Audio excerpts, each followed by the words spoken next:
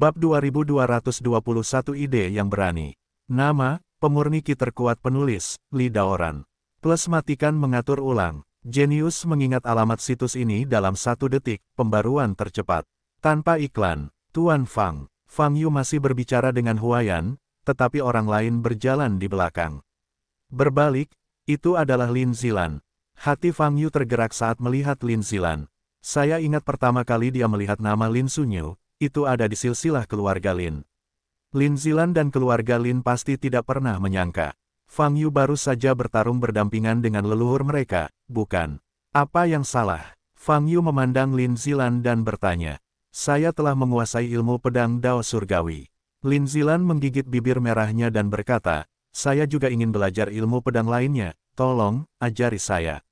Menguasai ilmu pedang Dao Surgawi dalam tiga tahun. Kamu benar-benar lebih baik dariku.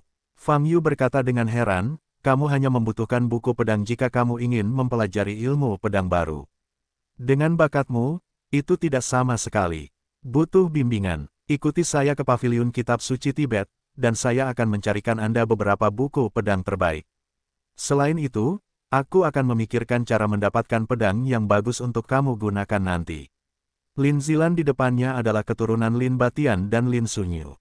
Selain itu, dia adalah seorang jenius langka di kendo selama bertahun-tahun di keluarga Lin. Bagaimanapun, Fang Yu harus membantunya dan melatihnya. Terima kasih, Tuan Fang. Lin Zilan membungkuk penuh rasa terima kasih. Kamu tidak perlu berterima kasih padaku, kata Fang Yu. Setelah itu, Fang Yu membawa Lin Zilan ke pavilion kitab suci Tibet.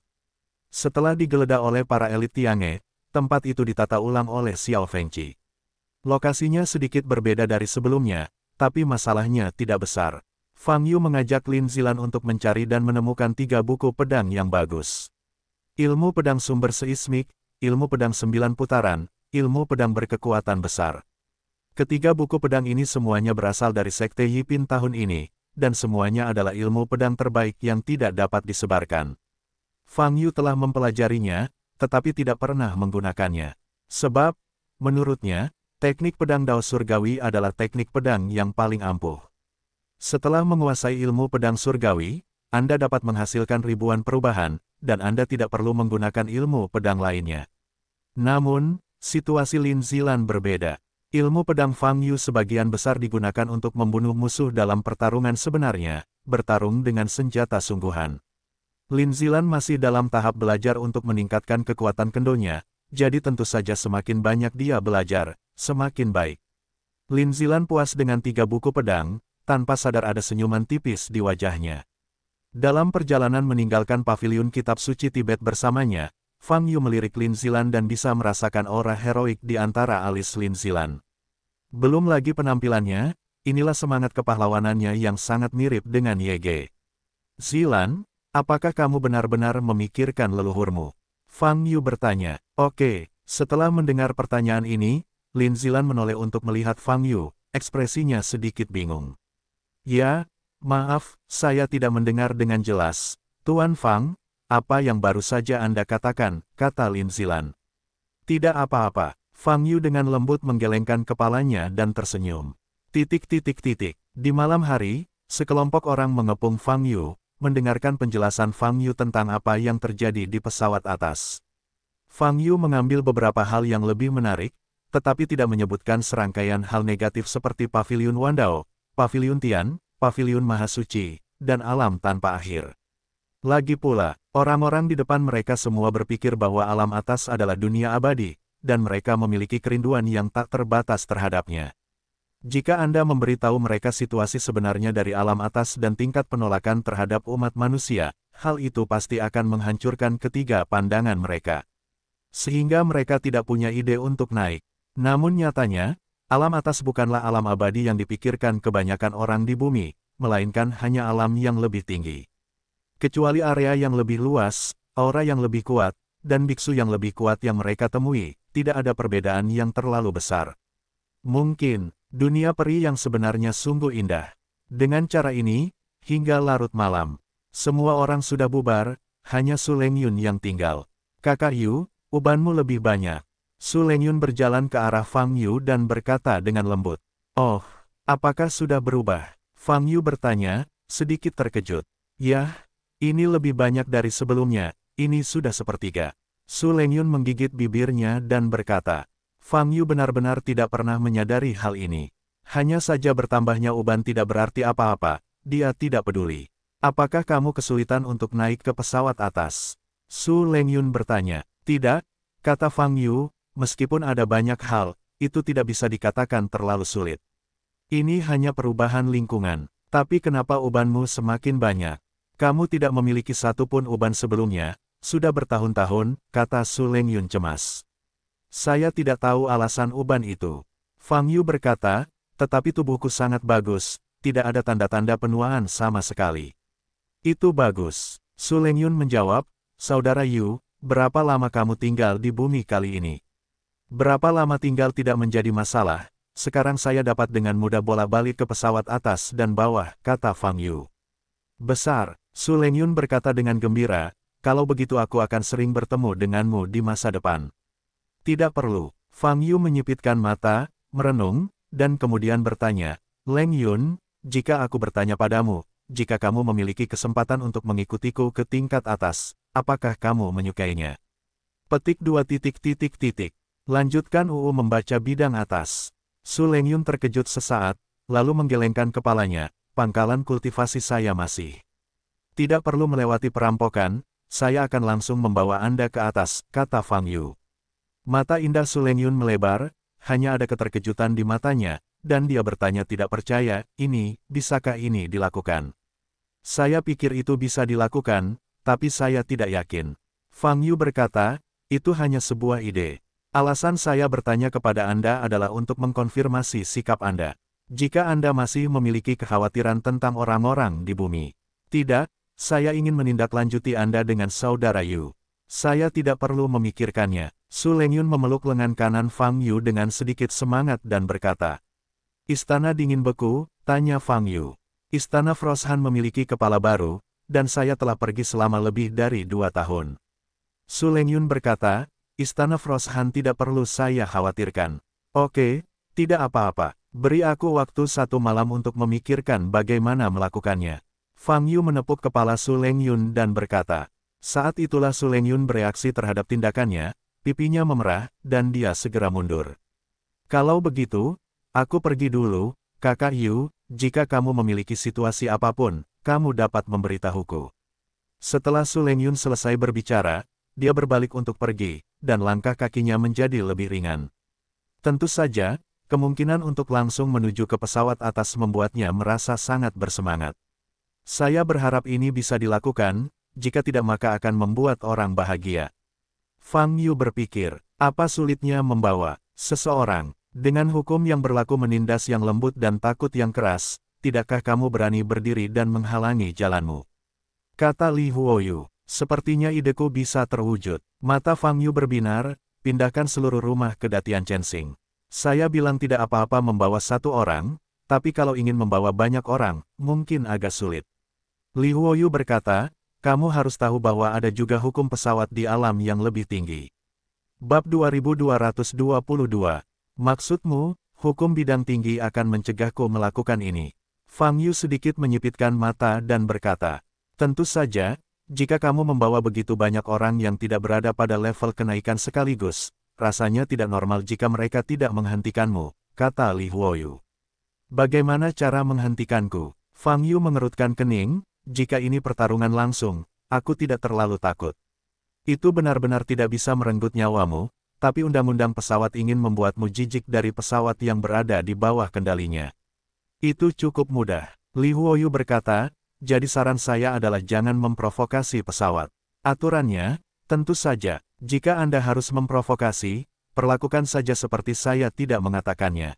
Ayo pergi seperti ini, aku akan mengambilnya satu persatu. Lagi pula, bolak-baliknya mudah sekali, jadi pasti sulit menemukannya. Fang Yu bertanya, Um, kamu bisa mencobanya. Li Huoyu berkata tanpa komitmen. Setelah percakapan singkat dengan Li Huoyu, Fang Yu duduk di kursi malas di atap dan beristirahat.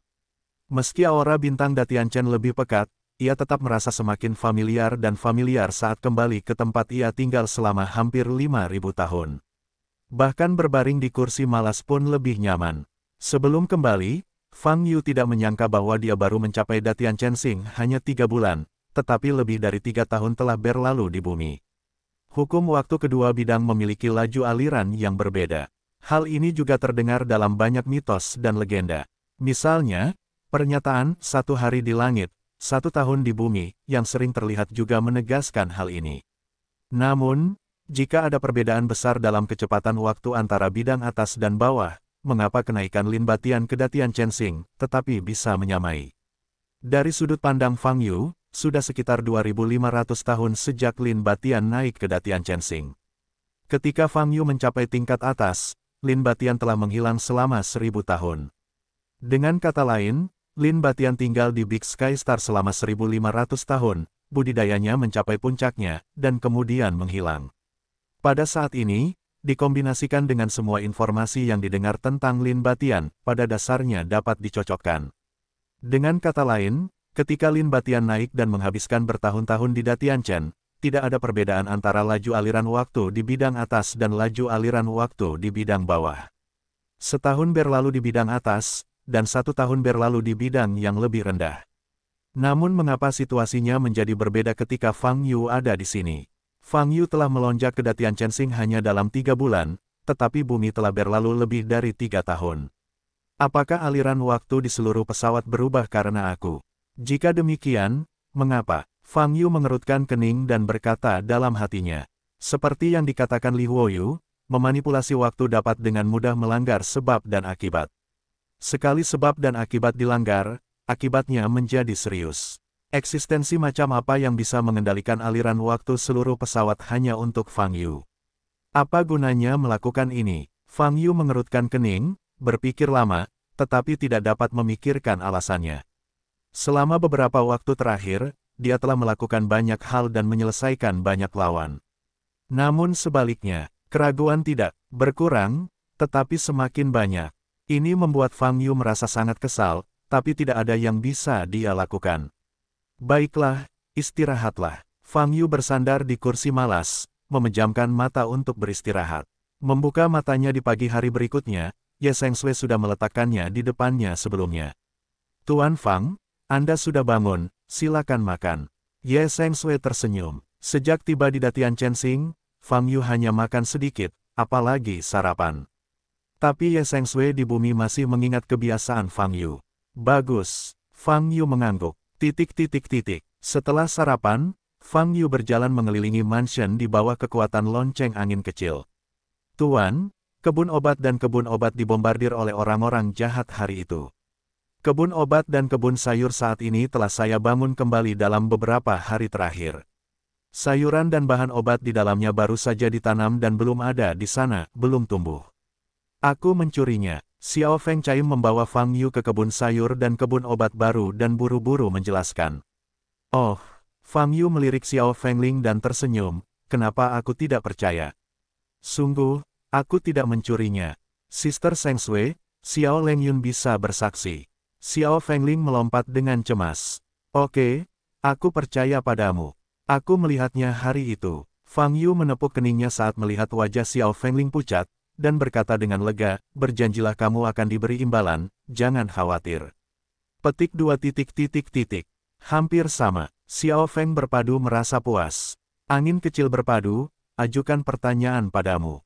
Fang Yu berkata lagi, ada apa, Tuan? Xiao Feng Chaim mengangkat kepalanya dan bertanya, apakah kamu ingin kembali ke pesawat atas bersamaku? Fang Yu bertanya, pergilah, pesawat atas. Xiao Feng Ling terkejut sesaat, Lalu dia terkejut, bahkan daging di wajahnya pun bergetar. Aku, tentu saja aku mau.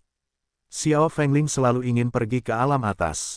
Tetapi mungkin ada risikonya, kata Fang Yu. Risiko, saya tidak takut jika saya memiliki master. Xiao Feng Chai menatap Fang Yu dengan mata besar, dan matanya berbinar. Tuan, apakah Anda ingin membawa saya ke pesawat atas? Saya memang punya ide ini, tapi kita mungkin akan dipenjara begitu kita sampai di pesawat atas. Fang Yu sedikit menyipitkan mata dan berkata, mengingat saat dia membawa Sky Devourer dan mengikuti misteri surgawi Tao ke alam atas. Sky Devourer langsung kehilangan kontak. Adapun misteri surgawi Tao, jika bukan karena hakim yang melihat bintang roda kematian, dia tidak dapat menemukannya. Setelah diingatkan oleh Li Huoyu tadi malam, Fang Yu memang telah mempertimbangkannya dengan lebih hati-hati. Dia benar-benar tidak melakukan apa-apa, dan dia tidak takut dengan hukum pesawat.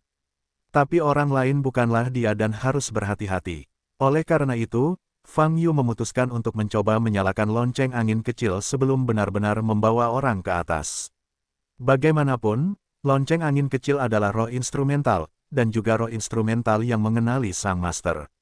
Pada saat itu, jika mereka benar-benar terpisah karena suatu alasan, Fang Yu juga akan dapat mengambil lonceng angin kecil melalui tanda tersebut, agar tidak kehilangan kontak. Jika kamu setuju, maka aku akan mengantarmu nanti, kata Fang Yu. Petik dua titik titik titik. Bagus. Xiao Feng Chaim setuju tanpa ragu-ragu. Kamu sama sekali tidak ketinggalan di sini. Fang Yu bertanya, nostalgia, tapi aku ingin lebih mengikuti tuanku. Kata Xiao Feng Ling sambil memegang paha Fang Yu. Baiklah, kalau begitu bersiaplah, kita akan berangkat nanti, kata Fang Yu. Titik titik titik. Setelah berbicara dengan Xiao Feng Ling, Fang Yu meninggalkan rumah Beidu dan pergi ke daerah Jiangnan. Dia tidak melupakan teman-teman lama di Jiangnan. Ibu dan anak perempuan Wang Yan dan Yu Yu Yue, Fatih Liu, Tang Xiaorou dan lainnya. Tiga tahun telah berlalu sejak bumi, Fang Yu harus menemui mereka. Karena saya berangkat kali ini, saya benar-benar tidak tahu kapan pertemuan berikutnya. Fang Yu masih ingat alamatnya dan langsung menuju pintu rumah ibu dan anak Wang Yan dan mengetuk pintunya. Beberapa saat kemudian, pintu terbuka. Bibi Wang, sudah lama tidak bertemu. Fang Yu tersenyum. Bulu kecil. Ketika Wang Yan melihat Fang Yu, dia sangat bersemangat, dan dengan cepat menarik Fang Yu ke dalam rumah. Bab 2223 Fang Yu memasuki rumah dan duduk di sofa. Wang Yan dengan cepat membuatkan teh untuk Fang Yu. Xiao Yu, sudah lama sekali aku tidak melihatmu. Ke mana saja kamu selama beberapa tahun terakhir ini? Yui Wei selalu mengatakan bahwa aku ingin menemukanmu, tetapi aku tidak dapat menemukanmu, kata Wang Yan. Aku sudah menempuh perjalanan jauh. Fang Yu berkata, saya baru kembali kemarin. Ternyata menjadi seperti ini. Wang Yan membawakan secangkir teh untuk Fang Yu, melirik jam, dan berkata, Yui Wei akan segera pulang kerja. Dia akan magang di gedung perkantoran terdekat. Saat dia kembali menemuimu, dia pasti akan sangat bahagia. Oke, aku akan menunggunya. Jawab Fang Yu. Setelah itu, Fang Yu berbicara dengan Wang Yan. Waktu berlalu dengan lambat. Pukul 12.10 siang, pintu dibuka. Bu, aku, sebuah bayangan indah masuk dari pintu. Itu adalah Yu Wei. Sebelum dia bisa menyelesaikan kata-katanya, dia tetap diam di tempatnya melihat Fang Yu duduk di sofa dari belakang. Yu Wei, sudah lama tidak bertemu. Fang Yu menoleh dan tersenyum. Yu Wei saat ini tidak lagi memiliki penampilan awet muda, langsing, dan menyenangkan. Dia melihat Fang Yu, matanya melebar, dan matanya penuh dengan keajaiban. Lalu dia berjalan cepat menuju tubuh Fang Yu dan memeluk Fang Yu. Saudara Fang Yu, Yu Yuiwe begitu gembira hingga matanya menjadi merah. Kamu hampir lulus kuliah, kamu tidak boleh menangis terlalu banyak, kata Fang Yu. Aku, aku sangat merindukanmu. Wajah Yu Yuiwe sedikit memerah, dan dia berbisik, aku telah mencarimu di ibu kota utara, tetapi tidak menemukanmu. Mereka bilang kamu telah pergi jauh dan mungkin tidak pernah kembali. Siapa yang memberitahumu? Kenapa bisa dikatakan bahwa aku sudah mati? Fang Yu mengangkat alisnya. Jangan bicara omong kosong. Yu Yuiwe mengerutkan kening. Kamu tidak boleh berbicara omong kosong seperti ini. Oke, Yu Yuiwe, duduklah dan mari kita bicara. Fang Yu berkata, bicaralah sebentar, aku harus pergi lagi. Ah, Yu Yuiwe menggigit bibir merahnya dan berkata dengan enggan, kamu baru saja datang ke sini sebentar, apakah kamu akan pergi lagi? Tidak mungkin, ada banyak hal, kata Fang Yu. Yu Yuiwe duduk di samping dan terus menatap wajah Fang Yu, seolah dia enggan memalingkan muka. Dalam situasi ini, Fang Yu duduk di rumah mereka selama hampir satu jam sebelum pergi. Kemudian, Fang Yu pergi menemui Fatih Liu dan Li Bingyan. Akhirnya, dia datang ke keluarga Tang lagi. Sebelum memasuki pintu, dia kebetulan bertemu Tang Mingde sedang berjalan keluar rumah, dan di belakangnya ada Tang Xiaorou dengan pakaian kerja.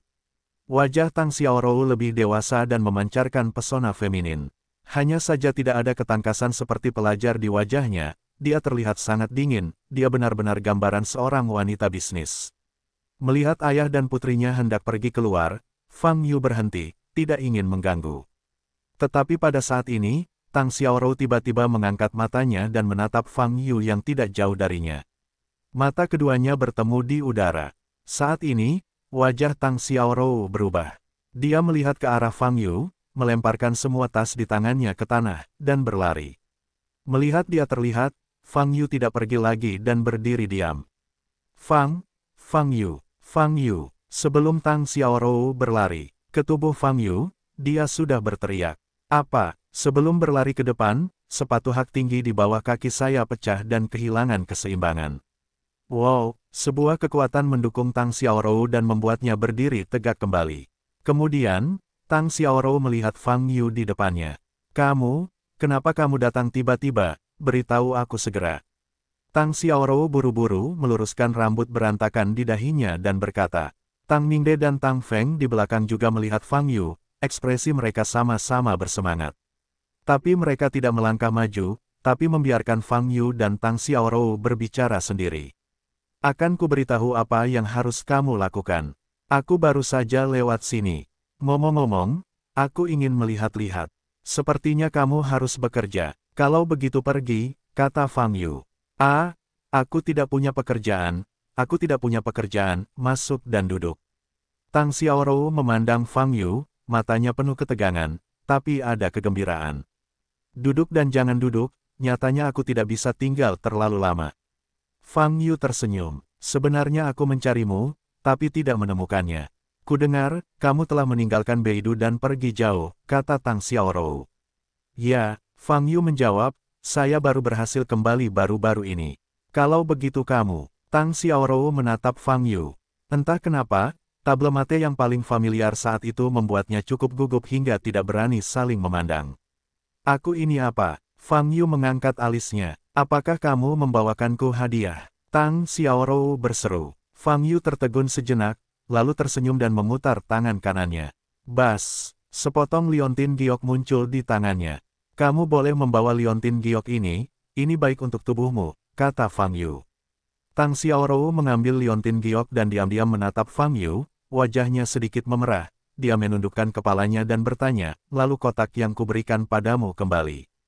Apakah kamu sudah membukanya? Kotak. Fang Yu tertegun sejenak, dan kemudian teringat bahwa Tang Xiaorou telah memberinya sebuah kotak kayu kecil. Namun, setelah menerima kotak itu, dia lupa. Hingga saat ini belum dibuka, dan masih tertinggal di pojok ruang penyimpanannya. Apakah kamu, membukanya. Tang Xiaorou bertanya lagi, menundukkan kepalanya, suaranya selembut semut. Eh, tidak. Fang Yu menjawab dengan jujur. Tidak. Tang Xiaorou mengangkat kepalanya dan menatap Fang Yu, matanya yang indah bersinar terang. Saat ini, wajahnya yang halus tertutup awan merah. Ya, secara tidak sengaja, Fang Yu menggaruk kepalanya dan mengubah kata-katanya, mengapa aku tidak membukanya sekarang, di depanmu? Tidak, Tang Xiaorou berteriak hampir menjerit. Hah, Fang Yu memandang Tang Xiaorou dengan bingung. Kamu, kamu bisa membukanya saat kamu sendirian. Kamu tidak perlu membukanya. Lagi pula, itu bukan barang yang berharga. Tang Xiaorou menggigit bibirnya dan berkata, lagi pula, kamu tidak bisa membukanya di di depanku. Baiklah, aku akan membukanya nanti, kata Fang Yu. Kamu, kamu, berapa lama kamu akan pergi kali ini? Pipi Tang Xiaorou terasa panas seperti apel. Tidak yakin, kata Fang Yu. Kalau begitu, Tang Xiaorou ingin mengatakan sesuatu. Tidak ada lagi, aku akan pergi dulu, aku pikir kamu juga sedang terburu-buru, kata Fang Yu. Aku telah berkultivasi selama dua tahun terakhir. Tang Xiaorou berkata tiba-tiba. Oh, Fang Yu terkejut, memandang Tang Xiaorou, dan berkata, aku ingat ayahmu tidak mengizinkanmu berlatih. Mentalitasnya telah berubah, dan, dot aku hanya ingin berlatih. Tang Xiaorou berkata dengan tegas, dia tidak bisa memaksaku. Jadi, Fang Yu mengangguk. Saya sekarang telah berkultivasi ke alam bawaan tingkat ke-10. Bisakah Anda membantu saya berkultivasi lebih cepat? Tang Xiaorou menarik napas dalam-dalam dan bertanya. Jika Anda ingin berlatih, Anda dapat pergi ke Beidou nomor 101 kapan saja, dan di sana, seseorang akan mengajari Anda cara berlatih. Kata Fang Yu, Bab 2224 10.000 Domain Binatang Ilahi. Bolehkah saya pergi ke sana saja? Tang Xiaorou bertanya. Baiklah, aku akan memberitahu mereka untuk membantumu. Jawab Fang Yu. Oke, Tang Xiaorou mengangguk. Kalau begitu aku akan pergi. Fang Yu mengangkat kepalanya dan melambai ke Tang Mingde dan Tang Feng sebagai salam. Lalu, berbalik dan pergi. Tunggu, Tang Xiaorou meneriaki Fang Yu lagi. Apa yang salah? Fang Yu bertanya. Lebih baik, buang kotak itu, jangan dibuka. Kata Tang Xiaorou dengan pipi memerah. Membuangnya, Fang Yu mengangkat alisnya. Kamu tidak perlu membuangnya, atau membuangnya. Tang Xiaorou berkata dengan tidak jelas. Karena kamu memberikannya kepadaku, biarkan aku memutuskan sendiri. Fang Yu berkata, pergilah. Setelah berbicara, Fang Yu berbalik dan pergi. Tang Xiaorou melihat punggung Fang Yu, dengan hampa mengangkat tangannya, dan menutupi pipinya yang panas. Kemudian, dia menoleh untuk melihat ke utara. Beiduno, 101, dia harus pergi ke sana untuk berlatih. Titik-titik-titik, meninggalkan daerah Jiangnan, Fang Yu kembali ke rumah Beidu lagi.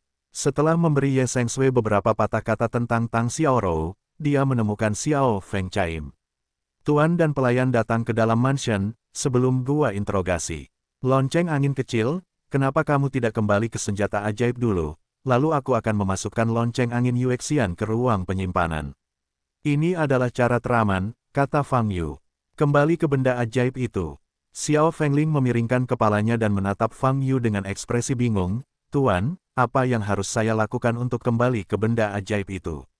Apa? Fang Yu tertegun, dan berkata, kamu adalah roh dari perangkat ini, bagaimana saya tahu bagaimana kamu akan kembali? Selain itu, kamu baru saja kehabisan lonceng angin Yuexian. Kamu dapat dengan mudah melakukannya sebelumnya, tetapi sekarang kamu bisa apakah kamu tidak lupa? Aku, Xiao Fengqin menunduk dan menatap tubuhnya dengan ekspresi bingung. Setelah itu, dia mengangkat kepalanya lagi dan menggelengkan kepalanya terus-menerus dan berkata, Tuan, sepertinya saya tidak bisa kembali ke lonceng angin Yuexian. Saat ini, Fang Yu benar-benar tercengang. Sebagai roh angin kecil yang berpadu, tidak dapat kembali ke artefak sihir miliknya yang semula. Bagaimana ini bisa terjadi? Dan apa artinya ini? Mata Fang Yu berkilat kaget, melihat angin kecil berpadu di depannya. Sejak kembali ke ibu kota utara dan melihat Xiao Feng Chaim lagi setelah ratusan tahun absen, dia sebenarnya telah memperhatikan sedikit perubahan pada tubuh Xiao Feng Chaim. Semakin mirip manusia, semakin manusiawi, bukan sekedar alat. Melihat ke belakang sekarang, memang hanya ada sedikit lonceng angin kecil, dan bahkan dapat dikatakan bahwa mereka tidak pernah kembali ke lonceng angin Yuexian. Di permukaan, Lonceng angin kecil semakin terlihat seperti makhluk mandiri, hanya gadis kecil dari ras manusia, tidak ada kelainan yang terlihat. Colters, saya ingin bertanya, pernahkah ada kejadian dalam sejarah di mana roh perkakas berubah menjadi manusia? Fang Yu bertanya dalam hatinya. Sejauh yang saya tahu, tidak. Jawab Chilingters, roh dikandung oleh alat magis dan dapat melahirkan kesadaran diri, namun untuk menjadi manusia, mereka harus hidup mandiri. Ini tidak mungkin. Roh dapat memutuskan hubungan dengan senjata ajaib. Petik 2. Bagaimana situasi lonceng angin kecil itu? Fang Yu bertanya. Petik 2 titik titik titik petik 2. Tear of Chilling terdiam beberapa saat, lalu menjawab, mungkin bukan roh alat itu telah menjadi manusia, tetapi alat ajaib itu telah menjadi manusia. Senjata ajaib itu menjadi manusia. Ngomong-ngomong, lonceng angin Yuexian, Baru kemudian Fang Yu ingat bahwa dia ingin Xiao Feng Chaim kembali ke Yuexian Win Chaim, tapi dia lupa, di mana Yuexian Win Chaim. Sepertinya dia sudah lama tidak melihat keberadaan Yuexian Win Chaim. Dengan kata lain, lonceng angin Yuexian telah terintegrasi dengan lonceng angin kecil, dan menjadi seperti sekarang. Dengan kesadaran diri, itu telah menjadi senjata manusia. Saya hanya pernah mendengar tentang makhluk roh yang berubah menjadi bentuk manusia di masa lalu, dan tidak pernah mendengar bahwa benda ajaib juga bisa menjadi manusia. Lonceng angin Yuexian awalnya hanya dinilai sebagai artefak semi-surgawi, dan diklasifikasikan sebagai artefak formasi magis. Namun kini tampaknya asal-muasal lonceng angin Yuexian tidak sesederhana itu. Fang Yu menatap lurus ke arah lonceng angin kecil itu, matanya masih berkedip karena terkejut. Tuan, ada apa? Apakah saya tidak dapat mengikuti Anda ke tingkat atas? Xiao Feng Chaim bertanya beberapa langkah ke depan, air mata berkaca-kaca. Aku bisa melakukannya, lupakan saja. Aku akan mempelajarinya nanti, kata Fang Yu. Ini baik, Xiao Feng Chaim segera mengangkat alisnya dan memeluk paha Fang Yu. Ingat, kamu harus memperhatikan nafasku saat kamu pergi ke alam atas. Fang Yu berkata, jika suatu kekuatan mengusirmu, kamu harus menemukan cara untuk menggunakan tanda di tubuhmu untuk menghubungiku. Kita berada di pesawat yang sama, masuk akal, dapat dihubungi. Baiklah, begitu, guru. Xiao Fengling mengangguk. Baiklah, kalau begitu, Bebe, Fang Yu berteriak. Wow, Bebe melompat keluar dari dada Fang Yu, matanya bersinar terang. Bas, tanda cincin muncul di udara. Dan pandangan Xiao Feng Chaim tertuju pada Bei Bei, si anjing putih kecil, mengerutkan kening, dan bertanya dengan nada bermusuhan. Tuan, siapa anjing putih kecil ini? Tapi sebelum dia bisa menyelesaikan kata-katanya, Fang Yu meraihnya dan bergegas ke tanda ring bersama-sama. Wow, tuan dan pelayannya menghilang bersama-sama. Bei Bei mengikuti dari dekat dan melompat ke dalamnya. Wow, kali ini, Fang Yu tidak tahu di mana lokasi targetnya. Tapi di mana pun Anda berada, selama Anda bisa kembali ke Datian Chen Xing Xiu. Saat Fang Yu melewati tanda cincin, pemandangan di depannya berubah secara dramatis. Lautan biru kehijauan mulai terlihat. Dia telah muncul di udara di atas gerbang bulu. Aku, sial, Fang Yu terjatuh dari di udara, menoleh dan melirik tanda cincin di belakang, lalu melihat ke depan. Dia, telah kembali ke Yu Huamen. Kembalilah saat ini. Apakah ini terlalu cepat? Ini bukan teleportasi dari pesawat yang sama. Tetapi lapisan pesawat. Teleportasi melintasi pesawat. Bagaimana ini dilakukan? Fang Yu memandang Bei Bei yang datang setelahnya dengan heran. Wow, Bei Bei mendarat di bahu Fang Yu dan mengibaskan ekornya dengan bangga. Tuan, Tuan, apakah kita sudah sampai? Xiao Feng Chaim bertanya dengan hati-hati, tidak berani membuka matanya. Saat kamu di sini, kamu bisa membuka matamu. Jawab Fang Yu. Xiao Feng Chai membuka matanya dan melihat pemandangan sekitarnya, wajahnya juga penuh keterkejutan. Ini, ini adalah bidang atas yang dikatakan tuannya. Mengapa tiba begitu cepat? Xiao Feng Chai bertanya sambil melihat sekeliling, matanya terbuka lebar. Fang Yu juga tidak bisa menjawab pertanyaan ini. Kali ini tidak ada pembatas di pinggir pesawat, jadi wajar kalau cepat naik. Ini normal, kata Li Huoyu. Tidak cepat, tapi tiba secara instan. Aku benar-benar tidak mengerti, bagaimana jarak yang harus dilalui bisa dilewati dalam sekejap. Fang Yu bertanya dengan bingung. Untuk pertanyaan ini, kamu harus menemukan salah satu dari miriat teritori Divine Beast di pundakmu, Sky Predator Beast untuk menjawabnya. Li Huoyu berkata dengan ringan. Bab 2225 Lapisan Kedua Alam Semesta Predator Langit, ekspresi Fang Yu terhenti, dan kemudian wajahnya sedikit berubah. Dia memandang Bei di bahunya dan bertanya, maksudmu? Bei, siapa lagi selain itu? Li Huoyu bertanya balik, sebagai salah satu dari sekian banyak binatang buas, kemampuan paling menonjol dari pemangsa langit adalah pesawat ulang-alik. Dikatakan bahwa bahkan hukum pesawat pun sulit mengetahui keberadaannya. Sayang, Fang Yu menyipitkan mata, lalu melihat ke arah Bei lagi, lalu berkata, juga, apakah kamu tidak mengetahui identitas BB sebelumnya? Kenapa kamu tiba-tiba mengingatnya sekarang? Aku tiba-tiba mengingatnya, apakah aku masih membutuhkan alasan? Li Huoyu berkata, kamu terkadang tidak dapat mengingat beberapa hal, itu tidak normal. Menurutku kamu sengaja berpura-pura bodoh. Fang Yu berkata dengan ringan, saya selalu jujur, mengetahui bahwa saya tahu, dan saya tidak tahu bahwa saya tidak tahu, dan saya tidak akan pernah dengan sengaja berbohong. Li Huoyu berkata datar, Haha, ini adalah cibiran langka dari Cryogenic Thirst. Fang Yu tahu pertengkaran lain akan segera dimulai. Yah, kalian berdua bisa bertarung di menara semesta, jangan ganggu pikiranku, kata Fang Yu. Bertarung, apa menurutmu dia mungkin lawanku? Li Huoyu berkata dengan nada menghina. Kamu bisa mencobanya. Menangis air mata dingin berkata dengan dingin. Fang Yu mengabaikan percakapan antara keduanya dan kembali ke dunia nyata.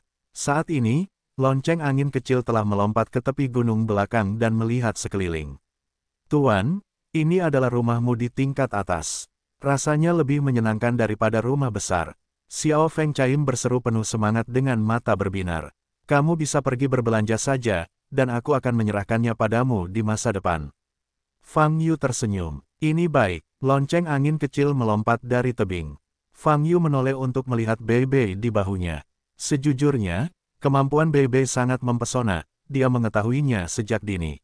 Namun, karena rangkaian kejadian di Datian Chensing terlalu rumit, Fang Yu tidak punya waktu luang untuk menyelidiki identitas asli Bebe atau segala sesuatu di baliknya. Sekarang, musuh di Datian Chensing pada dasarnya telah dibasmi.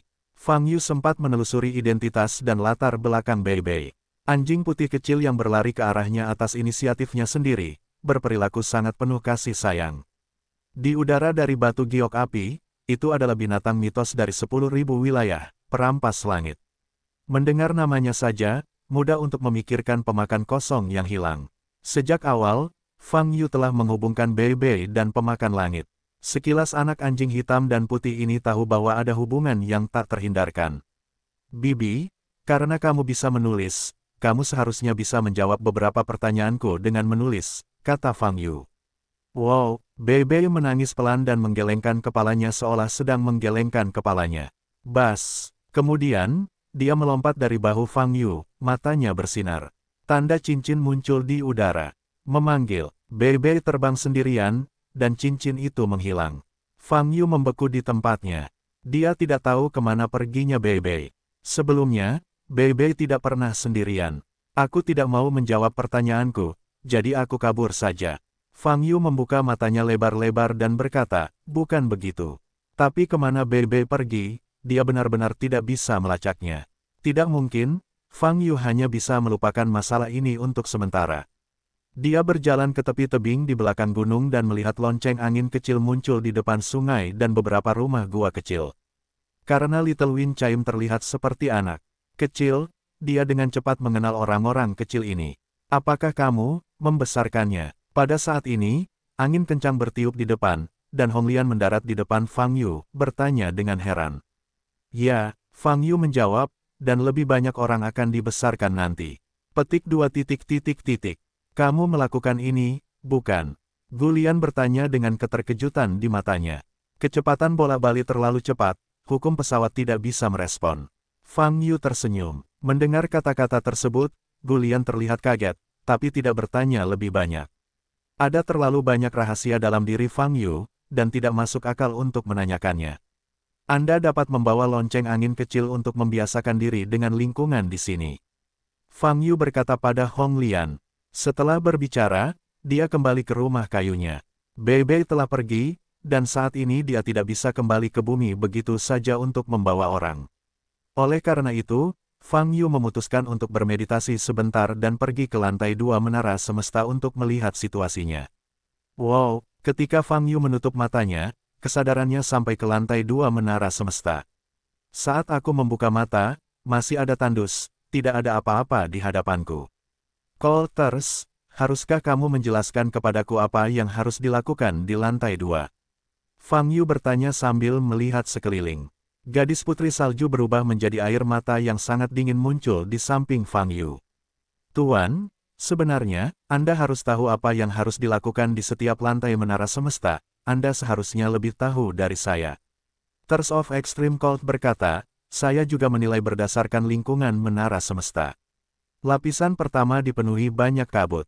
Dengan peningkatan tingkat kultivasi saya, kabut berangsur-angsur menghilang, dan pada saat yang sama saya bisa mendapatkan hasil dari kultivasi saya. Fang Yu menyipitkan mata sedikit, dan lapisan kedua ini terlihat seperti ini adalah gurun primitif yang belum pernah ditanami. Jadi yang ingin saya lakukan adalah membudidayakan sejenis tanaman di sini. Tunggu, bukankah aku yang akan membuka kebun sayur di sini? Itu menarik sekali. Tuan, tolong ikuti saya. Cilingter sepertinya tidak bisa membaca self-talk Fang Yu, dan berjalan ke depan. Fang Yu mengikuti di belakangnya. Keduanya berjalan maju, hampir tidak menyadari perubahan di tempat kejadian. Setelah berjalan beberapa saat, air mata yang sangat dingin tiba-tiba berhenti. Tuan, lihat, Cilingters menyerahkan posisinya. Fang Yu melihat ke tanah di depan. Di posisi ini, ada sedikit cahaya. Cahaya yang sangat kecil, bahkan jika jaraknya sedikit lebih jauh, Anda tidak dapat menyadari keberadaannya. Ini, Fang Yu berjongkok, dengan hati-hati memperhatikan cahaya redup.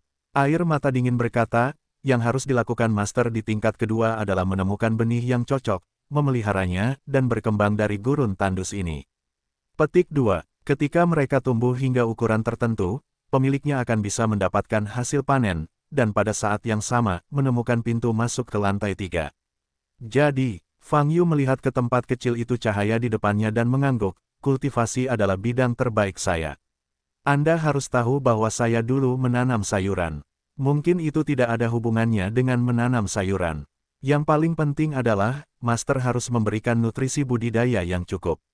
Jihan terus berkata, sejauh yang saya tahu, setiap tingkat menara semesta sulit untuk dikembangkan. Ini akan meningkat pesat. Karena benih ini perlu dibudidayakan, ada kemungkinan alami layu dalam proses pertumbuhan. Setelah layu, nutrisi budidaya yang sebelumnya diairi akan terbuang sia-sia. Jadi, Master tidak bisa menganggap enteng, lapisan kedua membutuhkan konsentrasi lebih dari lapisan. Pertama, bab 2226 wajah selanjutnya. Mengerti, Fang Yu juga berhenti bercanda, menyipitkan matanya sedikit ketika dia melihat benih yang bersinar samar di depannya. Mungkin diperlukan waktu untuk menumbuhkan benih seperti itu. Selain itu, jenis benih apa dan skala pertumbuhannya masih belum diketahui secara pasti. Namun bagaimanapun juga, Anda tetap perlu meningkatkan kultivasi Anda. Budidaya didasarkan pada produktivitas, yang memang secara fundamental berbeda dengan menanam sayur-sayuran.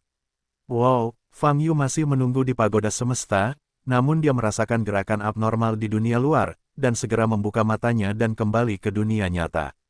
Wow, Bebe lah yang kembali dan melompat ke bahu Fang Yu. Kamu mau pergi ke mana? Wow, kali ini, Bebe melompat ke atas meja di depan Fang Yu lagi, mencelupkan sedikit tinta dengan kaki kecilnya, dan menulis di kertas putih. Pergi untuk membantu. Tulisan tangannya sangat tepat dan sekilas terlihat jelas. Fang Yu tertegun sejenak, lalu memandang Bebe dengan heran, dan berkata, sayang, kamu benar-benar bisa menulis. Wow, Bebe menggoyangkan ekornya dengan arogan. Ngomong-ngomong, kamu bilang bantu, siapa yang harus diselamatkan? Fang Yu bertanya. Bebe menunduk dan menulis di kertas dengan cakarnya, Dahei. Dahei, anjing sialan di Necropolis. Fang Yu terkejut dan bertanya. Bebe mengangguk. Baru pada saat itulah Fang Yu ingat bahwa anjing hitam besar itu juga telah membantu melawan lima orang suci di Sangdian, tetapi ketika dia kembali, anjing hitam besar itu telah menghilang. Saat itu, dia mengira anjing hitam besar itu sudah kembali. Baru sekarang saya tahu bahwa anjing hitam besar itu terjebak. Simpan saja, Bei aku akan menanyakan pertanyaan penting padamu sekarang. Fang Yu memandang Bei dan berkata, Bei menunduk dan menggaruk kaki kecilnya, seolah dia sudah tahu apa yang ingin ditanyakan Fang Yu. Apa hubungan antara kamu dan Sky? Fang Yu bertanya, karena kamu bisa menulis, maka kamu bisa menjawab pertanyaanku. Cakar kecil Bebe menari-nari di atas kertas lagi. Fang Yu menoleh dengan penuh harap. Tidak tahu. Lalu, dia melihat tiga kata ini. Aku tidak tahu. Bagaimana ini mungkin? Kamu hanya memiliki satu kata di namamu. Bagaimana mungkin kamu tidak tahu? Fang Yu mengangkat alisnya. Sayang, berbohong tidak baik. Bebe menundukkan kepalanya dan mengibaskan ekornya, tanpa banyak reaksi. Jelas, dia hanya tidak ingin mengatakannya. Yah, kamu tidak ingin menjawab pertanyaan ini, jadi ganti yang lain. Kenapa kamu menemukanku? Fang Yu bertanya lagi. Bebe melambaikan kakinya dan menulis dua kata. Nafas, aura, kamu datang kepadaku bersama dengan aura itu. Kenapa kamu ingin menemukanku? Fang Yu mengerutkan kening dan bertanya lagi. Mendengar pertanyaan ini, Bebe mengangkat kepalanya dan menatap Fang Yu dengan sepasang mata, kosong dan polos. Bermain bodoh lagi, Fang Yu berkata tanpa daya, kalau begitu, aku tidak akan bertanya tentang dirimu sendiri. Di mana Sky Eater saat ini, bisakah kamu memberitahuku? Bebe tampak sedikit ragu-ragu, namun pada akhirnya dia menundukkan kepalanya dan menulis beberapa kata. Itu pulang, kembali ke rumah. Hati Fang Yu tergerak. Di mana rumah Sky Eater? Apakah juga berada di pesawat yang sama? Bagaimana saya bisa melihat Sky Eater? Fang Yu bertanya lagi. Sekarang, aku tidak bisa melihatmu. Bebe menulis lima kata sebagai jawabannya. Melihat kata-kata ini, Fang Yu mengerutkan kening. Tidak dapat melihat Sky Eater sekarang. Apakah Sky Eater dalam masalah? Namun Bebe mengatakan sebelumnya bahwa pemakan langit telah pulang. Sekarang dia sudah di rumah, masalah apa yang akan dia hadapi? Pertanyaan terakhir, bisakah kamu naik ke pesawat atas? Fang Yu berdiri dan bertanya. Wow, kali ini, Bebe tidak menulis, tetapi mengangguk dengan berat, tampak bersemangat. Nah, saat kita menjemput orang-orang itu di bumi, kita akan menuju ke muka berikutnya, kata Fang Yu. Titik titik titik. Setelah percakapan singkat dengan Bebe, Fang Yu mulai mengangkut orang lagi. Dia kembali ke bumi dan menjemput Su Lengyun dan Zhao Zinan satu demi satu. Selama periode tersebut, tidak terjadi kecelakaan. Rasanya seperti menciptakan lonceng angin kecil, dan menyelesaikan penyeberangan pesawat dalam sekejap, tanpa kesulitan.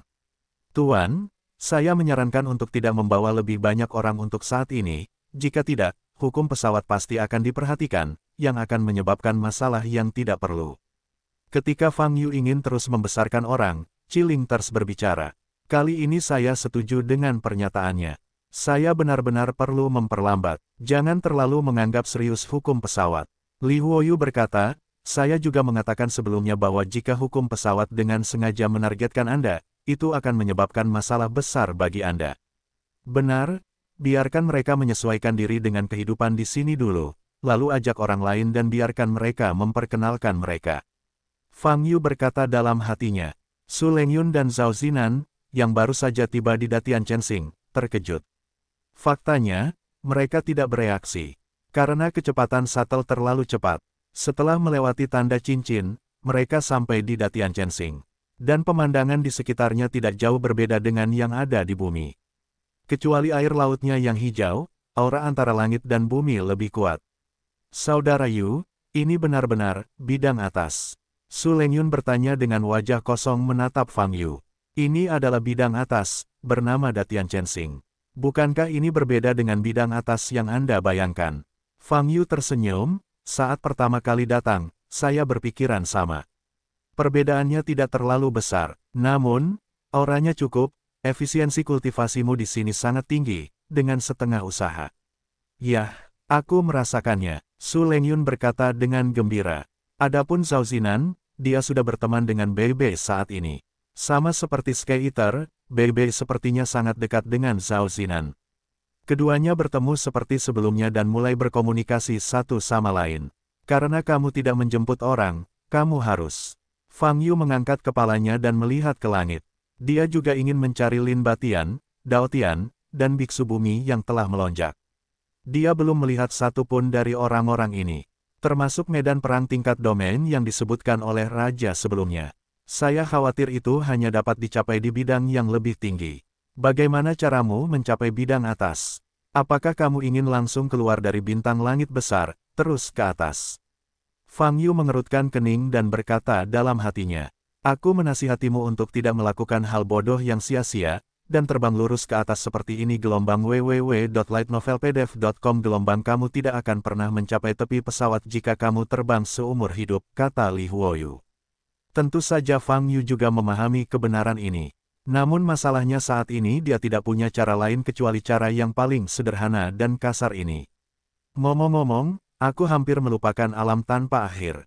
Setelah Fang Yu berpikir sejenak, dia tiba-tiba teringat bahwa satu-satunya informasi yang dia hubungi tentang alam yang lebih tinggi berasal dari alam tanpa akhir. Bidang bintang ini diasingkan dari alam atas. Memikirkan hal ini, Fang Yu datang ke kaki Gunung Duhou dan melihat dahan bunga disegel olehnya. Dan Huayan juga mengikuti Fang Yu. Cabang bunga yang tergeletak di tempat tidur hampir pulih dari lukanya. Tapi saat dia melihat Fang Yu dan Huayan, wajahnya langsung menjadi kesal dan marah. Bab 2227 melakukan beberapa hal buruk. Cahaya ganas muncul dari mata Huazi, dan dia tidak sabar untuk menelan Fang Yu dan Huayan. Kenapa repot-repot? Ladang tak berujung itu hancur berkeping-keping olehku. Fang Yu berkata, apa yang masih kamu perjuangkan? Ayahku akan membalaskan dendam kita. Dia akan membalaskan dendam kita. Huazi mengertakkan gigi dan berkata dengan kasar, Ayahmu, oh, kamu sedang membicarakan tentang iblis pertama dari sepuluh ribu cara. Fang Yu sedikit menyipitkan mata dan tersenyum. Jika benar-benar habis, kamu mungkin orang pertama yang membunuhnya. Apakah kamu balas dendam? Wajah Huazi berubah, wajahnya jelek, dan dia tidak dapat berbicara. Huayan di belakang Fang Yu menghela nafas ringan, matanya dipenuhi kesedihan. Saya mendengar Anda mengatakan bahwa alam tak berujung diasingkan dari alam atas. Lalu saya ingin bertanya, apakah Anda tahu cara menuju ke alam atas? Fang Yu menoleh untuk melihat Huayan dan bertanya. Pada saat itu, kami menerima uji coba bintang roda kematian. Akhirnya, pengasingan dikuasai, dan seluruh bidang bintang jatuh ke bidang yang lebih rendah dalam sekejap. Selama proses tersebut, kami tidak tahu. Huayan menjawab dengan suara rendah. Mengingat situasi saat itu, masih ada sedikit ketakutan dan sedikit ketakutan di matanya. Dead Wheel Star, dot ada juga Dead Wheel Star di pesawat atas. Fang Yu bertanya dengan bingung. Ya, jawab Huayan. Apakah ada bintang roda kematian di setiap pesawat, atau bintang roda kematian mengabaikan penghalang pesawat? Mata Fang Yu berbinar, berpikir dalam hatinya. Ketika dia dikirim ke Dead Wheel Star, dia hanya melihat sangkar yang tak berujung, jumlahnya mungkin melebihi satu juta, sepuluh juta, atau bahkan miliaran. Di dalam pesawat, akankah begitu banyak makhluk yang terperangkap dalam roda kematian? Kamu benar sekali. Faktanya, Deat Will Star, dot ada di mana-mana. Li Huoyu berkata, bintang roda kematian memiliki keberadaan khusus dan diizinkan oleh hukum masing-masing bidang. Oleh karena itu, ada di setiap bidang, dan bintang roda kematian yang ada di setiap bidang sebenarnya adalah satu, saling menembus satu sama lain. Petik 2. Dengan kata lain, yang terpenjara di bintang roda kematian, adalah makhluk dari berbagai alam, bukan hanya alam ini. Fang Yu menyipitkan mata. Ya, jawab Li Huoyu. Mengapa alam bawah belum pernah mendengar tentang keberadaan Deat Will Star? Fang Yu bertanya, karena, alam bawah adalah tempat sepi, Tuan. Suara tangisan terdengar, tanah terbengkalai. Fang Yu mengerutkan kening. Kamu masih ingin naik ke pesawat atas. Hahaha, biar ku beritahu, Fang Yu, kamu mungkin sangat kuat di pesawat ini, tapi ketika kamu sampai di pesawat atas, kamu bukan apa-apa. Ada banyak pembangkit tenaga listrik top sejati yang tak terhitung jumlahnya di alam atas. Pembangkit tenaga listrik ini pasti akan menghancurkan suku manusiamu. Ah, sebelum Huazi selesai berbicara, dia disela oleh teriakan. Saat saya datang ke pesawat ini, saya pikir ada banyak orang kuat di sini. Apa yang terjadi? Tidak ada yang bisa melawan. Fang Yu tersenyum. Iblis di alam atas semakin kuat. Mereka ingin membunuhmu, kamu tidak boleh menyembunyikannya. Huazi mengertakkan gigi dan meraung. Hebat, ternyata ada setan di alam atas yang ingin membunuhku, supaya kalau aku naik ke alam atas, ada hiburan, dan tidak terlalu membosankan.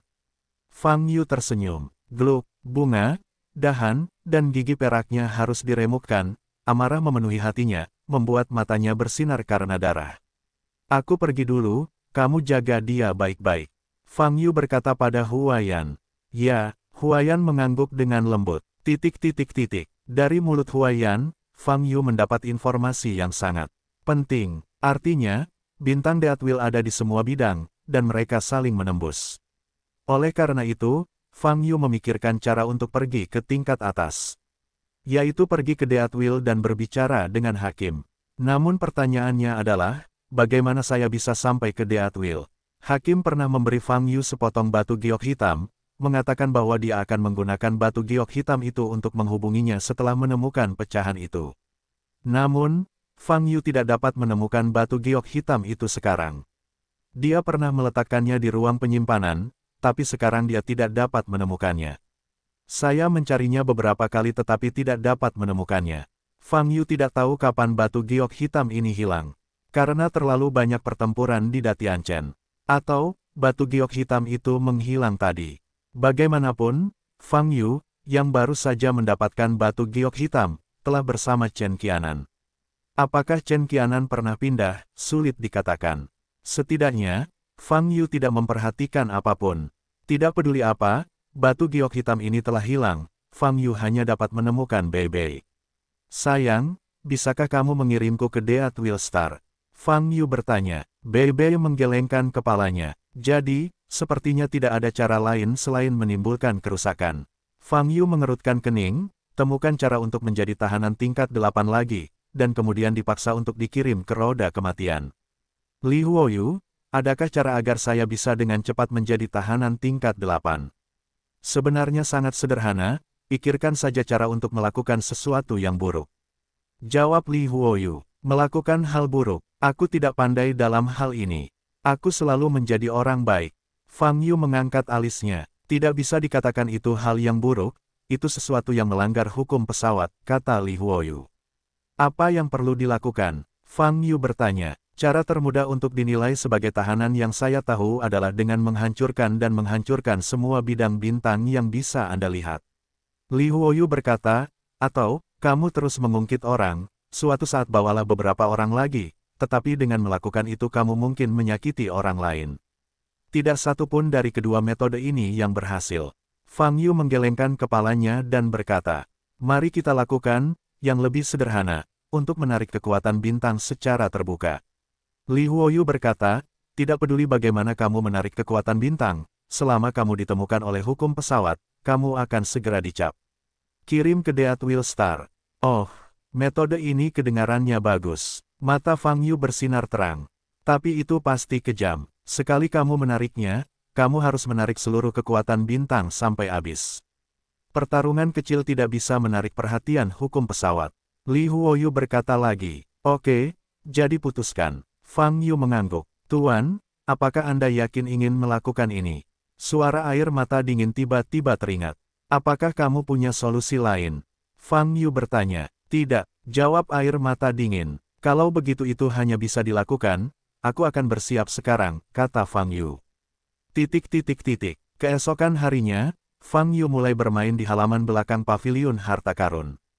Kali ini dia pergi ke dunia luar, dia ingin membuat kereta, atau, pesawat luar angkasa, seperti pesawat luar angkasa yang dipelajari di bumi. Lagi pula, terbang sendirian di langit berbintang yang tak berujung terasa terlalu monoton. Keesokan paginya, pesawat ruang angkasa itu dilemparkan. Seluruh pesawat ruang angkasa terbuat dari meteorit yang paling keras, pada dasarnya mampu menahan tekanan di langit berbintang. Kemudian, Fang Yu berdiri di puncak gunung belakang, bermeditasi di tempat, menutup matanya. Bas, Semburan cahaya biru muda dengan cepat terpancar dari tubuhnya, menyebar ke seluruh perbatasan selatan, wilayah selatan, dan bahkan seluruh bintang langit besar. Ini adalah tanda yang ditinggalkan dengan menggunakan kekuatan sumber Datian Chensing, dan cakupannya adalah seluruh Datian Chensing. Begitu tanda kuat ini terpicu, bahkan jika Holy Lord datang lagi, tanda itu harus dihancurkan berkeping-keping. Selain itu, Fang Yu tidak membawa orang lain dalam perjalanan ini, hanya Bei Bei. Selama ada Bei Bei, Datian Chensing atau Yu Huamen akan dapat kembali secepatnya. Ketika semuanya sudah siap, Fang Yu membawa Bei Bei dan berdiri di depan tebing di belakang. Di sampingnya ada pesawat luar angkasa biasa. Sebentar lagi, dia akan mengandalkan pesawat luar angkasa ini untuk melaju melintasi langit berbintang yang tak berujung. Bagi Fang Yu, ini adalah pertama kalinya Genius mengingat alamat situs ini dalam satu detik, pembaruan tercepat. Tanpa iklan, Tuan, kamu harus ingat untuk kembali. Xiao Feng Chaim berkata di sampingnya. Saat aku menemukan jalan ke tingkat atas, aku akan kembali dulu. Fang Yu berkata, saya tidak akan langsung ke pesawat atas, jangan khawatir. Bagus, jawab Xiao Feng berpadu. Di belakang Xiao Feng Ling, Su Leng Yun, Zhao Zinan dan lainnya juga merasa malu. Di langit berbintang tak berujung yang tidak diketahui, tidak ada yang tahu apa yang akan terjadi. Kakak Yu, kamu harus berhati-hati, kata Su Yun. Tidak masalah, jawab Fang Yu, lalu memandang Huaixu, dan berkata, meskipun saya tidak berada di Sekte Yuhua, Anda untuk sementara mengambil alih sebagai kepala Sekte Yuhua dan bertanggung jawab atas semua urusan dalam Sekte Yuhua. Petik dua titik titik titik. Saudara Fang, kekuatanku tidak cukup, Wajah Huaixu sedikit berubah dan menjawab. Kekuatan bukanlah masalah. Menurutku, di antara banyak orang, hanya kamu yang cocok melakukan ini. Fang Yu berkata, adapun mereka yang memiliki basis kultivasi lebih tinggi dari Anda, jika mereka berani melanggar perintah Anda, Anda dapat memberitahu saya dan saya akan membersihkannya. Setelah mengatakan ini, Fang Yu mengamati Sujialu, dan di penghujung hari, Hong Lian dan yang lainnya melihatnya. Yah, kamu tidak membutuhkan ungkapan ini. Aku tidak pergi ke mana-mana, mungkin aku akan kembali dalam beberapa jam. Fang Yu tersenyum, aku pergi. Setelah mengatakan ini, Fang Yu melangkah ke pesawat luar angkasa. Bentuk pesawat luar angkasa ini sebenarnya dibuat sesuai dengan tampilan kereta, tetapi tidak seperti kereta, Kali ini Fang Yu menggunakan aquamarine sebagai kaca, dan memberkati hukum ruang angkasa dan hukum angin di dalamnya, yang pada dasarnya dapat memenuhi permintaan di alangkah cepat. Wow, Bebe juga sangat bersemangat dengan perjalanan yang tidak diketahui ini, terus-menerus mengibaskan ekornya di bahu Fang Yu, dan juga melambai kepada orang-orang di luar. Boom! Detik berikutnya, pikir Fang Yu. Sumber kekuatan pesawat luar angkasa itu adalah Fang Yu. Oleh karena itu, kecepatan lepas landas ini sangat dilebih-lebihkan. Boom! Dengan suara keras, pesawat luar angkasa itu langsung menuju ke awan dan dengan cepat menghilang dari pandangan semua orang. Di gunung belakang, semua orang melihat ke pesawat luar angkasa yang langsung menghilang dari pandangan, dengan ekspresi terkejut. Layak menjadi kepala, kami bahkan belum menemukan cara untuk bertahan hidup lebih baik di Datianchen, dia telah melakukan perjalanan keluar bidang bintang. Sujialu menggelengkan kepalanya dan berkata dengan emosi. Titik-titik-titik, desir, pesawat ruang angkasa itu naik dengan cepat dan dengan cepat bergegas keluar dari bidang bintang Datian Chensing. Sebelum langsung menuju ke medan bintang yang jauh itu, dia memutuskan untuk melihat lokasi asli dari medan tak berujung itu, berharap menemukan pintu masuk ke penghalang yang menjebak iblis pertama dari 10.000 cara. Desir, karena energi Fang Yu yang menyebalkan, seluruh pesawat ruang angkasa bersinar dengan cahaya keemasan yang kuat dan berlari cepat di langit berbintang yang gelap. Kecepatannya sangat berlebihan, meninggalkan cahaya keemasan, seperti meteor. Bye-bye, jika kamu punya cara untuk mengizinkan kami melakukan perjalanan melalui langit berbintang ini, kita dapat menghemat banyak waktu, ke mana pun kita pergi. Fang Yu memandang Bei Bei dan berkata, Bei Bei menggelengkan kepalanya, mengatakan bahwa dia tidak bisa melakukannya. Sebab, hanya di tempat yang pernah ia kunjungi, ia dapat menggunakan tanda dering itu untuk berpindah secara instan. Jelas sekali, langit berbintang ini juga sangat aneh bagi Bebe, tidak bisa melakukan itu. Baiklah, luangkan waktumu, jawab Fang Yu. Wow, segera, pesawat luar angkasa itu tiba di area di mana alam tak berujung awalnya berada. Sekalipun alam tak berujung telah meledak, namun di area ini, anda masih dapat merasakan gravitasi yang sangat kuat. Fang Yu membuka mata jalan, mencari pintu masuk penghalang. Setelah beberapa saat, Eye of the Avenue menguncinya di posisi paling jauh. Posisi ini melepaskan semburan kekuatan luar angkasa yang kuat. Itu adalah pintu masuk ke penghalang. Hati Fang Yu bergetar dan segera mendesak pesawat luar angkasa untuk berlari menuju posisi itu. Desir, setelah beberapa saat, dia sampai di pintu masuk penghalang. Itu adalah pusaran hitam pekat, yang memancarkan semburan gravitasi. Pintu masuk penghalang ini, awalnya terhubung ke alam tanpa akhir. Sekarang alam tanpa akhir telah hilang dan masih ada. Untuk mengetahui situasi iblis pertama 10.000 dao, aku hanya bisa masuk lagi, bagaimanapun, aku bisa keluar dengan santai, tidak ada salahnya. Memikirkan hal ini, Fang Yu menyingkirkan pesawat luar angkasa. Lalu, dia membawa Bebe dan terbang menuju pintu masuk penghalang. Wow, dua detik kemudian, satu orang dan satu anjing menghilang ke langit berbintang. Desir-desir, ada lagi perasaan terjatuh yang berkepanjangan. Jika iblis tua ini melihatku, apakah dia akan memuntahkan darah karena marah? Fang Yu berpikir sambil terjatuh. Memikirkan penampilan Marawan Dao Simo yang tidak kompeten, dia merasa sedikit lucu. Ledakan, setelah terjatuh beberapa saat, Fang Yu akhirnya terjatuh ke bawah dengan suara teredam. Tanah dihancurkan olehnya. Saat ini, Fang Yu segera menoleh untuk melihat posisi patung payudara yang awalnya diubah oleh iblis pertama dari sepuluh ribu cara. Iblis tua, sudah lama tidak bertemu, kata Fang Yu. Namun sebelum dia selesai berbicara, matanya berubah. Karena patung itu, telah hilang. Di posisi itu, hanya tersisa bekas cekung. Fang Yu segera melihat sekeliling. Tidak ada yang menemukan iblis pertama dari 10.000 dao, dia juga tidak merasakan nafas apa pun. Benar-benar abis. Wajah Fang Yu terkejut. Dalam penglihatan dada Wei, dia dapat dengan jelas melihat bahwa pesona lengkap yang asli, kini telah membuat lubang. Kesenjangan itu masih besar. Ini benar-benar abis. Fang Yu mengerutkan kening, matanya berkedip dengan cahaya dingin. Sepuluh ribu dao iblis pertama ada, setelah lolos dari pesona ini, hal-hal yang sangat mengerikan akan terjadi. Bagi banyak makhluk, dan bahkan banyak wilayah bintang, ini adalah bencana. Jangan khawatir, saat dia kabur dari sini, dia langsung dipindahkan oleh hukum pesawat. Li Huoyu berkata, hukum pesawat tidak akan memberinya kesempatan untuk main-main. Lalu ke mana akan diteleportasi? Fang Yu bertanya. Tentu saja itu adalah pesawat yang memungkinkannya ada, kata Li Huoyu. Itu pasti jaraknya sangat jauh, kata Fang Yu. Itu belum tentu, kata Li Huoyu, jaraknya. Belum tentu terlalu jauh, mungkin di tingkat atas. Mata Fang Yu sangat menakjubkan ketika mendengar kata-kata ini. Bagaimana dia bisa lolos dari penghalang ini? Fang Yu menatap celah di penghalang, kekuatan macam apa yang merobek celah ini.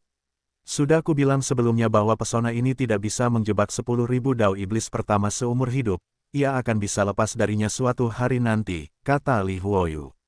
Aku ingat air mata dingin mengatakan bahwa orang itu sudah kehabisan minyak dan cahaya, kata Fang Yu dengan sungguh-sungguh. Ya, Pesonanya hancur, dan ini bisa lebih dikonfirmasi. Nada suara Li Huoyu menjadi serius, dan dia menjawab, pokoknya, kamu harus cepat. Mungkinkah aku benar-benar tidak sempat bertemu orang itu? Fang Yu mengerutkan kening dan berkata, saya dapat memberitahu Anda dengan jelas, kemungkinannya sangat kecil, kata Li Huoyu. Boom, Fang Yu sedang berbicara dengan Li Huoyu, tetapi tanah di bawah kakinya tiba-tiba meledak. Bab 2229.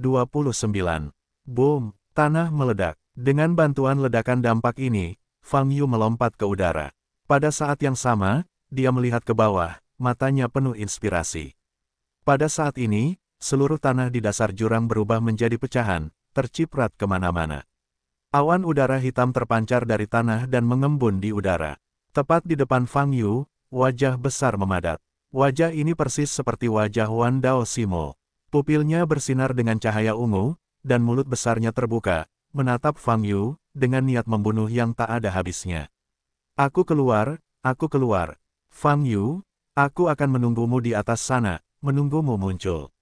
Nada suara Wan Dao Simo penuh dengan kebencian yang mengerikan dan niat membunuh, aku akan menyusun kembali dagingnya, dan kemudian setelah satu putaran perang, aku akan mencabik-cabikmu, menjebak jiwamu dalam dewa reinkarnasi, dan membiarkanmu menanggung siksaan kekekalan.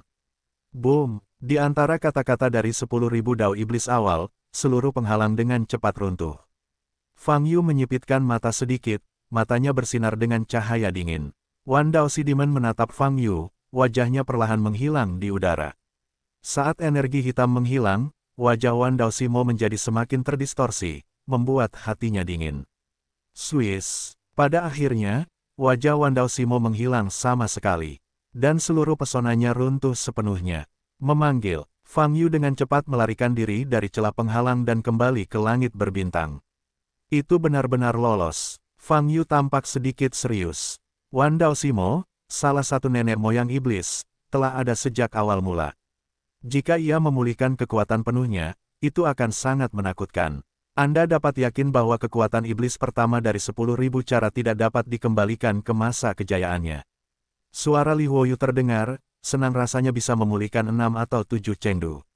Ia telah lama terperangkap dalam penghalang, konsumsinya oleh penghalang tidak dapat diubah. Tentu saja, bagaimanapun juga, itu adalah iblis pertama dari 10.000 cara, bahkan dengan kekuatan 60 hingga 70 persen, itu sangat menakutkan. Fang Yu mengerutkan kening, melihat pesona di depannya, lalu mengangkat kepalanya untuk melihat ke atas. Di bidang penglihatannya, yang masih terlihat adalah langit berbintang yang tak berujung. Tunggu aku di atas, ada berapa pesawat di bumi? Fang Yu menyipitkan mata. Setelah berpikir sejenak, Fang Yu memanggil pesawat luar angkasa dan menaikinya lagi. Desir, setelah itu, dia berlari ke depan. Titik-titik-titik, di langit berbintang yang sunyi, kecuali galaksi kecil di kejauhan, tidak ada makhluk atau benda abnormal yang terlihat.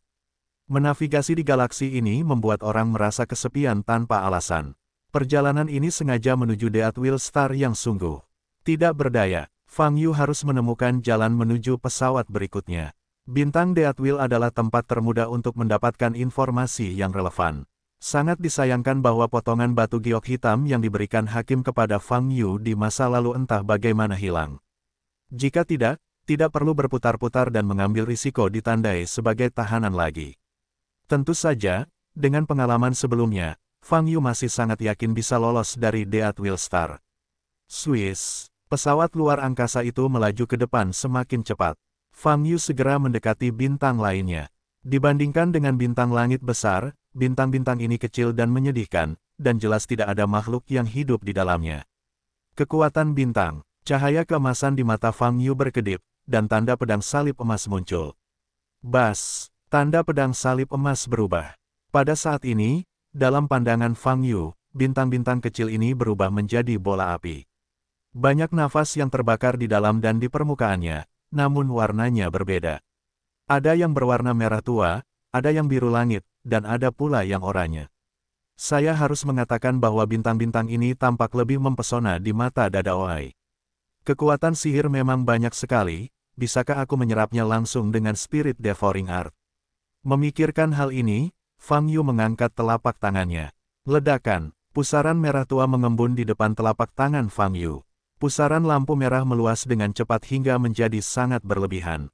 Dan pada saat ini, energi sihir yang terkandung dalam bintang di depan Fang Yu mulai dihisap oleh spirit devouring art. Gravitasi bintang-bintang itu sendiri sangatlah kuat. Namun, daya isap seni melahap roh Fang Yu bahkan lebih kuat. Desir-desir, setelah beberapa saat, energi sihir yang terkandung dalam bintang tidak dapat didukung, dan sejumlah besar diserap. Kekuatan bintang diubah menjadi kekuatan budidaya dalam jumlah besar melalui pergerakan meridian, yang langsung dituangkan ke dalam tubuh Fang Yu. Perasaan ini mirip dengan penyerapan basis kultivasi. Hanya saja kekuatan dan kemurnian kekuatan bintang lebih tinggi. Ini lebih baik daripada langsung menyerap basis perbaikan. Kekuatan bintang ini adalah hal yang bagus. Mata Fang Yu berkilat karena terkejut. Tentu saja, kekuatan bintang adalah kekuatan utama yang menghasilkan sebuah bintang. Ia sangat murni. Li Huoyu berkata, peningkatan yang diperoleh dengan menyerap kekuatan bintang setara dengan budidaya seorang biksu biasa. Luar biasa, begitu banyak biksu yang akan mengalihkan perhatian mereka ke bintang-bintang, kan? Langit yang penuh bintang ini. Fang Yu menghela napas, memandangi bintang-bintang kecil di depan, sungguh tidak ada habisnya. Apakah menurutmu semua orang dapat dengan mudah meninggalkan domain bintang seperti kamu dan menyerap kekuatan bintang-bintang ini? Li Huoyu berkata dengan muram, keberadaan sepertimu, bukankah kamu mengatakan itu satu-satunya, setidaknya satu dari miliaran? Petik 2. Dan mereka yang mampu melakukan ini sepertimu, dan punya nyali untuk melakukannya. Entah mereka dipenjara di roda kematian dan tidak pernah melarikan diri, atau mereka langsung ditekan oleh hukum pesawat. Inilah arti dari hukum pesawat, jika tidak maka akan kacau. Benar, saya juga melakukan ini untuk memasuki Deat Wheel Star. Bagaimana orang normal bisa mati seperti ini? Fang Yu mengangguk, setuju. Tetapi pada saat yang sama, dia meningkatkan laju penyerapan.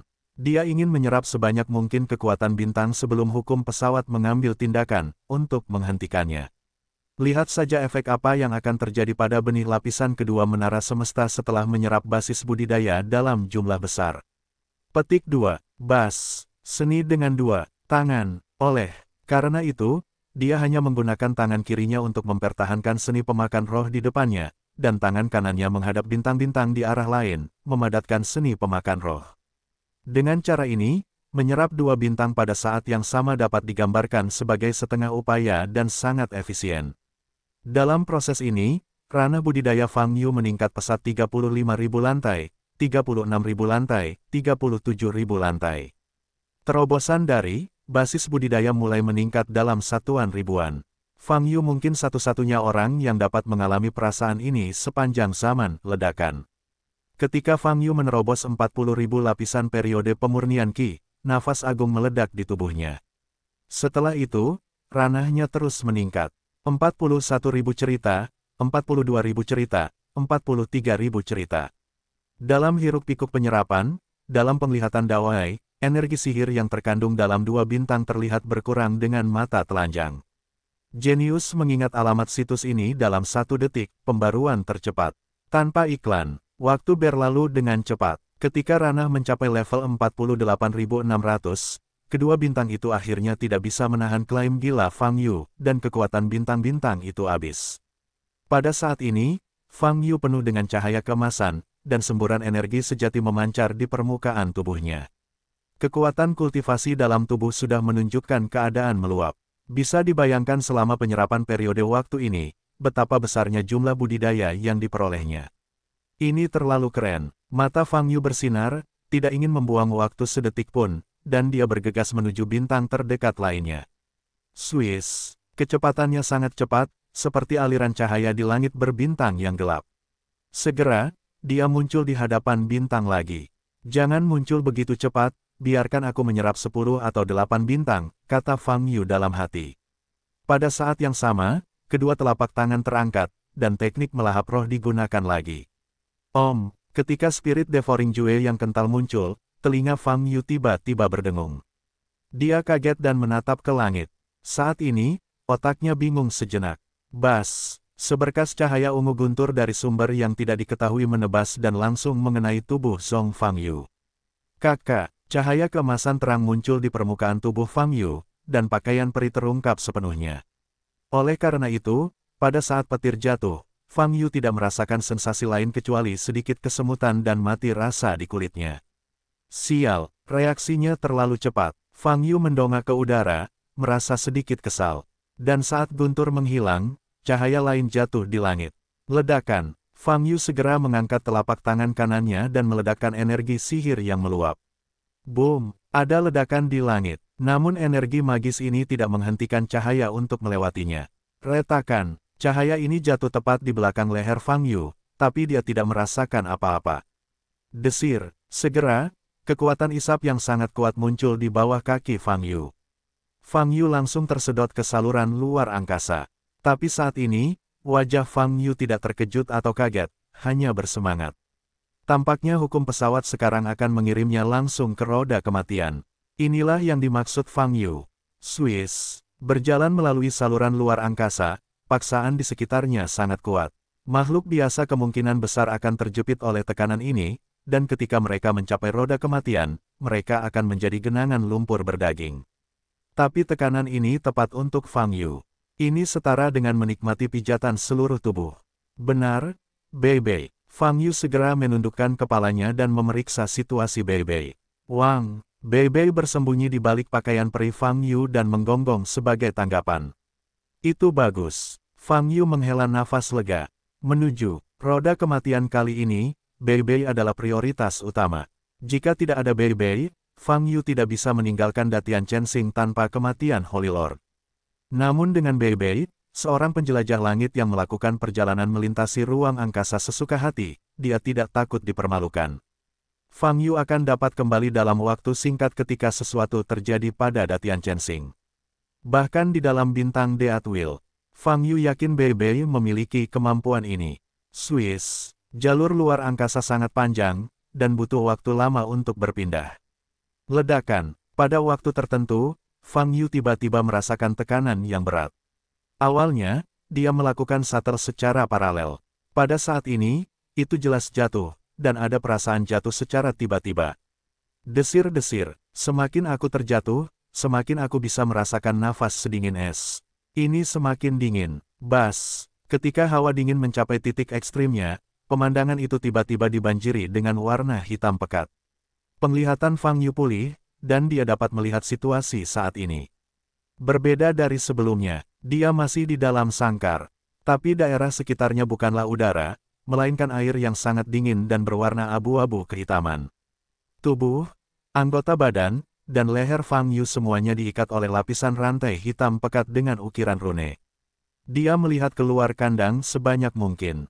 Terlihat ada sangkar serupa di kejauhan. Penglihatannya bergerak sedikit ke atas dan ke bawah, dan sangkar lainnya dapat terlihat. Dibandingkan terakhir kali, lingkungan kali ini jelas lebih buruk. Fang Yu dikurung di penjara air yang sangat dingin. Jarak antar kandang sangat jauh, tidak sedekat sebelumnya. Sepertinya, level tahananku meningkat lagi kali ini. Fang Yu sedikit menyipitkan mata dan berkata dalam hatinya. Tapi nilai tidak menjadi masalah. Selama kamu bisa mencapai bintang roda mati. Fang Yu menggerakkan anggota tubuhnya sedikit dan mencoba memutar lehernya lagi. Pada saat ini, dia pada dasarnya bisa merasakan kekuatan rantai ini. Bas, tapi rantai itu merasakan gerakan Fang Yu, dan tanda yang tercetak di permukaan juga bersinar samar. Kakak, saat ini, rantainya mulai mengencang. Terakhir kali dia dikirim ke Dead Wheel Star, Fang Yu sudah tahu bahwa karena hukum khusus, rantai di dalam sangkar ini akan terbentuk tanpa batas dan meningkatkan kekuatannya tanpa batas. Untuk keluar dari sini, kamu harus gesit dan bergegas keluar sekali. Jika tidak, sangat mungkin untuk dikunci di sini selamanya. Setelah merasakan kekuatan rantai itu, mata Fang Yu bersinar, lengan dan kakinya mulai mengerahkan kekuatan pada saat yang bersamaan. Ledakan, kali ini, Fang Yu tidak melakukan pencabutan apa pun. Dia langsung menggunakan 10% kekuatannya. Ledakan, pada saat ini, rantai yang mengikat tubuh Fang Yu putus. Cahaya rune di permukaannya berkedip-kedip, tetapi tidak ada waktu untuk meningkatkan kekuatan, dan rantainya telah putus. Boom! Seluruh kandang bergetar. Fang Yu menendang kakinya dan bergegas ke depan. Di saat yang sama, dia mengepalkan tangan kanannya dan menghantamkannya ke dalam sangkar di depannya. Ledakan, keras. Di dalam air dingin, semburan kekuatan ini menyebabkan air di sekitar Fang Yu terguncang hingga terbuka, memperlihatkan area berlubang yang sangat besar. Wow, saat ini, Fang Yu sudah melarikan diri dari kandang. Hah, bagaimana dengan penjara air? Masih sangat mudah. Fang Yu melihat kembali ke lokasi sangkar yang rusak dan tersenyum. Selanjutnya, saatnya mencari hakim. Fang Yu berbalik dan bergegas maju menuju kejauhan. Saat melewati sangkar yang paling dekat dengannya, ia melihat di dalam sangkar tersebut, sepasang pupil berwarna abu-abu, dengan bekas luka di wajahnya. Orang ini memiliki anggota tubuh yang lengkap dan terlihat seperti manusia, tapi belum tentu. Pada saat ini, orang ini juga menatap Fang Yu dengan cermat, dan wajah menakutkan itu penuh dengan keterkejutan. Jelas, dia melihat seluruh proses keluarnya Fang Yu. Namun, Fang Yu tidak berniat berkomunikasi dengannya, jadi dia lewat. Dan masih banyak lagi, namun saat ini, orang tersebut berbicara. Fang Yu mengerutkan kening, tidak mau memperhatikan, dan terus bergerak maju. Kamu selamatkan aku, aku bersedia membalasmu dengan nyawaku. Teriak orang itu, lupakan saja, Aku juga mengeluarkan seseorang dari roda kematian terakhir kali, tapi aku terpana oleh orang itu. Fang Yu berkata dengan ringan, saya tidak akan mengulangi kesalahan yang sama. Kamu pasti ras manusia kan? Aku juga ras manusia. Aku berbeda dari orang yang kamu katakan, dan aku tidak akan pernah membalas rasa terima kasihku. Orang itu meraung,